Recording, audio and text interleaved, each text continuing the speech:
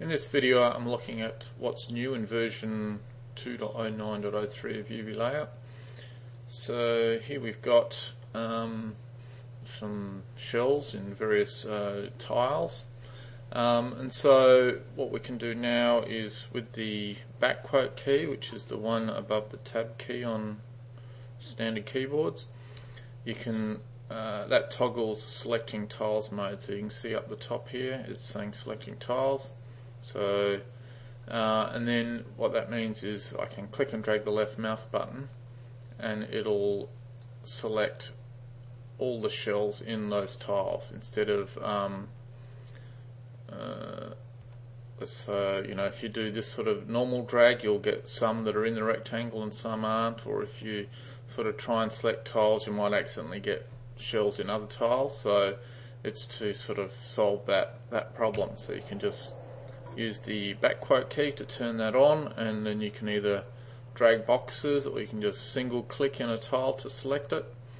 Uh, single click elsewhere to unselect. Uh, that sort of depends on your preferences here for um, uh, the mouse. Sorry mouse preferences. New.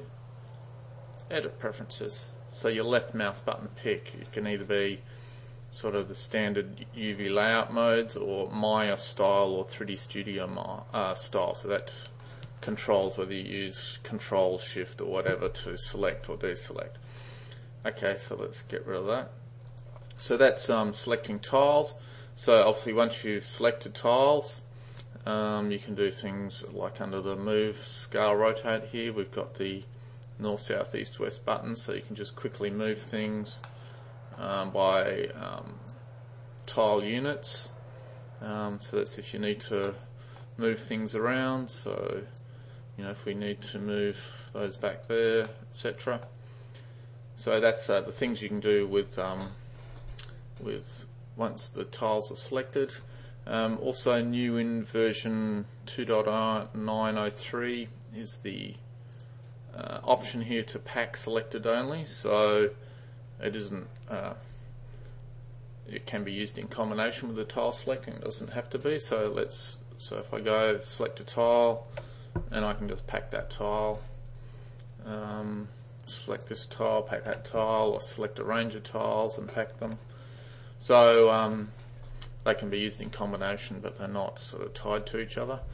Um, another thing that's new in in this version, let's um, zoom in on this shell just as an example. So the uh, Control I and K hotkeys, if I just do that now, so what that does is Control I will tag all edges that are um, within a certain angle of the, the edge I selected. So this is for the edge straightening tagging. So these black lines will then, when, once I optimize, will be tried to make straight. Um, if I do Control I again, it removes it. So you may not want that applied to the entire shell because that's what the default action is. So now, if you wanted to just do one section, let's say this strip down the middle, I can um, I can select those, and then if I do Control I here, um, because where I do the Control I is on a marked face, it will only apply that edge tagging to other marked faces in the shell. So that's if you want to restrict um, uh, the straightening to certain areas, like here, I definitely want to do that. If I just want those particular um, polygons straightened out, not all the rest of it, that's, that's the way to do that uh, easily. Okay, so that's, um, we've got one more sort of main new thing that could be useful for people.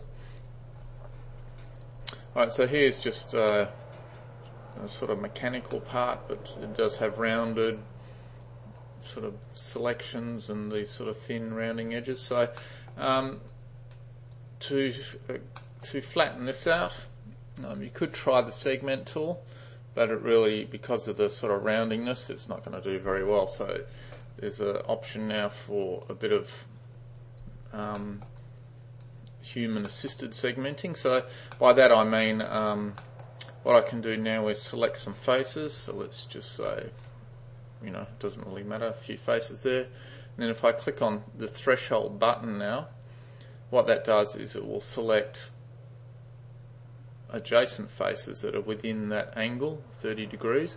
So it's a nice quick way of selecting these sort of faces. So then I can uh, drop that down to UV space. If I um, select these faces, so you can see it's sort of picking regions of similar similar facing angle, which is a nice way to, to segment up a sort of complicated sort of part organic, part mechanical shape like this.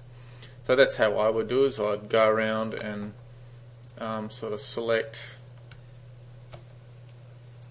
select these uh, contiguous regions. Now occasionally, of course, it's going to do something like that. So you can either leave that there or just paint that out quickly. Or if you wanted these this face included, then you just got the opportunity to go in there and and you know sort of fine tune it if you wanted. And then um, and then you've got this sort of nice flattish, well not flattish, but sort of contiguous region, regions. So you go through, split the object up like that, and then you go, after flattening and you go in and decide which ones to weld together to create a more uh, joined surface. So that's the threshold button under segmenting. So that's um, the main new things that are in the version 2.09 1.03 um, release.